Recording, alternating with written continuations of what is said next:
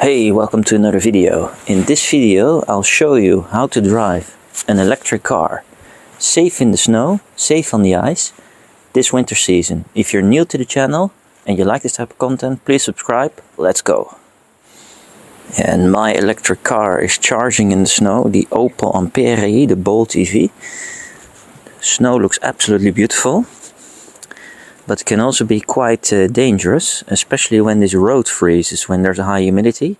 You have black ice, ice, glat ice, blitz ice, ijzel, whatever you call it in your country.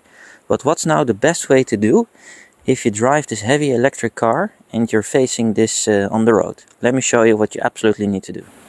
And you can already see it, there's ice on the window, the road starts to freeze.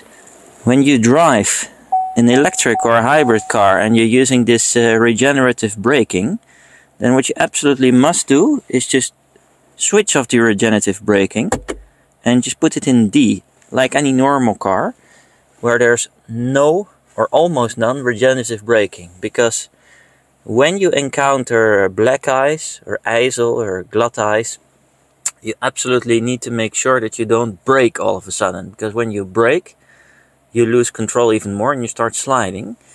You keep your eye on the road, and then if you have the feeling you'll start sliding, you just gently release uh, the, the gas pedal and you look in the direction where you actually want to go. And then you do not want the car all of a sudden to brake by itself.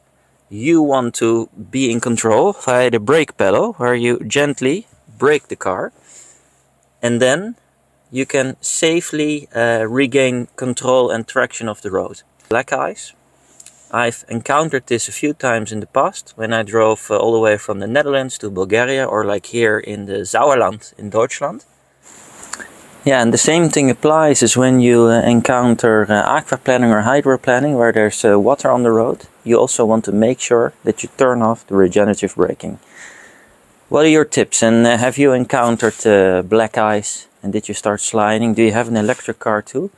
Let me know your tips. Write them in the comments so everybody can read. I'm looking forward to hearing from you and I wish you safe driving this winter season. See you in the next video. Ciao.